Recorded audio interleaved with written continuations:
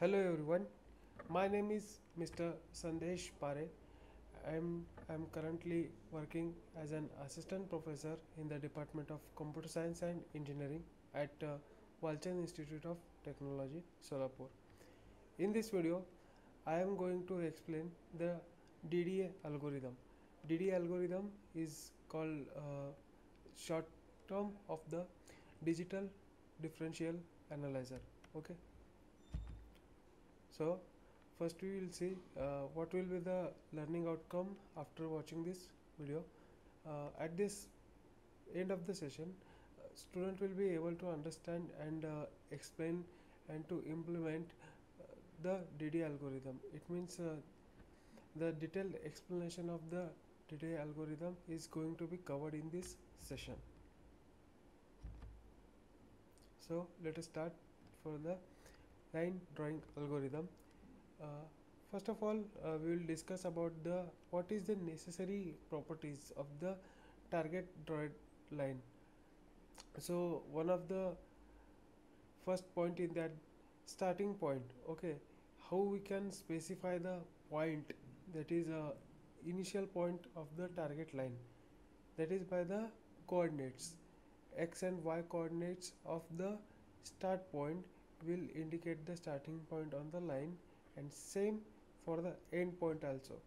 Means we can consider the x1 and y1 coordinate value of the start point and x2 y2 indicate the coordinate value of the end point of a desired line. Okay? And uh, another one necessary characteristic of a desired line is its straightness.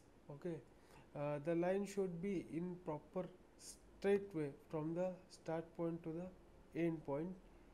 And next is there should be a equal brightness along the length of that targeted line. Okay. Uh, it should not happen that brightness should be uh, dull or otherwise uh, more darken uh, and brighten at certain various dots.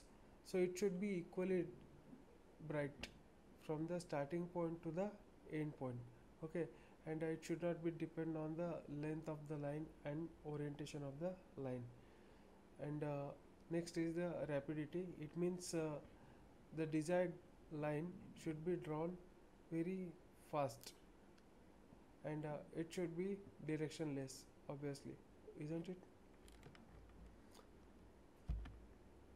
So there is one concept it is called as the rasterization okay? Uh, what happens in this? See in the diagram uh, the line is going from various pixels okay? So at that time you can observe that uh, on one row it may visit the multiple pixels okay? It means what happens in very special cases it happens that line is going through the perfectly between the pixels okay? Most of the time what happens line may visit two or three pixel attached to each other and uh, passes through it. So at that time all that pixel should be marked on the screen. Uh, as i told you earlier that uh, very uh, special cases are there in which it is not happening. It means uh, when you are drawing the uh, vertical line otherwise horizontal line otherwise uh, diagonal line at that time the line pass through the pixel very perfectly.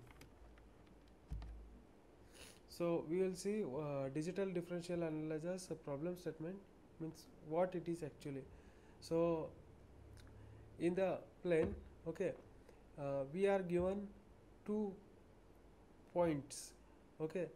As you see x0 y0 is the starting point of the line and x1 y1 indicate the end point of the line.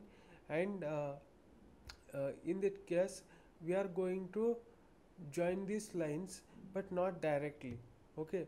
We have to go through the intermediate points and we have to calculate that coordinates of the intermediate points in this DDA algorithm. Okay? So uh, as uh, in the introductory part I said you have to mark that pixels. Okay? And uh, that method to mark the pixel is the put pixel method. Okay? Where we can give the coordinates of that point and uh, it have three parameters. That is x y coordinates and the uh, color of the pixel so for example we can see that uh, if I given uh, 0 0 and 5 5 are the values of the endpoint of a line then uh, uh, it will be a diagonal okay? So that's why uh, at each time you you can see that it is going diagonally. Means at that time it will visit the 1 1 2 2 3 3 and 4 4 okay? And it will pass through these pixels and visit the targeted endpoint.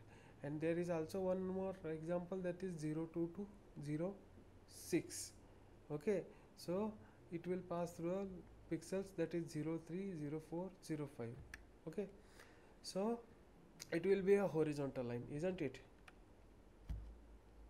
So uh, there is one more question for you guys that is uh, what are the desired characteristics of the targeted line?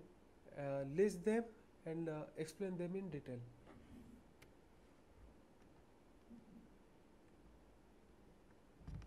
So the answer of this question are there are mainly four characteristics of the target line okay? They are as uh, first one is the straightness. It means from the starting point to the end point the line must be very straight okay? And second is uh, the brightness between this starting and end point okay should be very consistent okay? It should not, not be dull at one point and it should not be more bright at uh, second level okay? So it should be equally distributed brightness uh, without uh, considering the length and orientation of the line okay and uh, third one is the uh, rapidity. Means uh, the line should be drawn very uh, fast mannerly okay? And uh, one more thing is it should be directionless. So uh, you can see one snippet on the screen that is the DDA algorithm okay?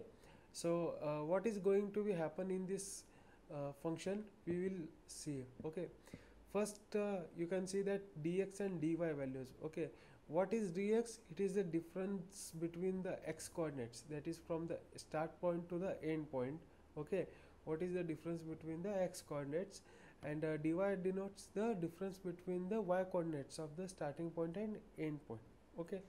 So after that uh, you have to calculate the steps okay whatever is the biggest uh, difference between the x coordinates otherwise y coordinates okay uh, among them what is the biggest one is assigned as a length of that okay and we will uh, traverse according to it okay and uh, on basis of this we can uh, calculate the x increment value and y increment value means at uh, each step by what amount we should implement uh, the increment in the x coordinate and what amount of the uh, increase should happen in the y increment okay? So it should be calculated uh, before going to the actual loop okay? So at the start we will start from the x0 y0 values okay? From the starting point that's why x values are uh, assigned by x0 and y value is assigned by y01 and in the loop okay. From the first coordinate to the last one okay the number of steps are there okay. And uh, in the every step we will mark the xy coordinate and we will move forward by incrementing x and y values okay. So we will jump to the next pixel isn't it? So this is the function of the DD algorithm. In this fashion we can implement this uh, DD algorithm so you can see here x0 y0 values are uh, 0 0 it means the line going to be start from the 0 0 location and uh, x1 y1 value are uh, 5 5 are there. Okay it means the endpoint is having the coordinates 5 5 okay so from this we can calculate the steps. That is uh, 5 is the biggest difference between the x and y. That's why it is assigned to the steps and uh, difference between the x coordinates and y coordinates are again the 5 that's why dx and dy values are the 5 1 okay? And dividing them by the length that is steps it uh, gives the value x increment is equal to 1 and y increment is equal to 1 okay? That's why at uh, every steps it means steps are 5 that's why there are 5 steps you can see it at the right table okay?